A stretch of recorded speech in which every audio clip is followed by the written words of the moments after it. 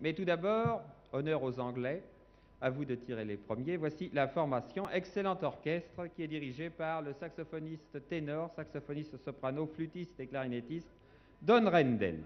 Don Rendell, qui ne jouera que du saxophone ténor, à voir l'instrument qu'il a avec lui. Yann Carr à la trompette.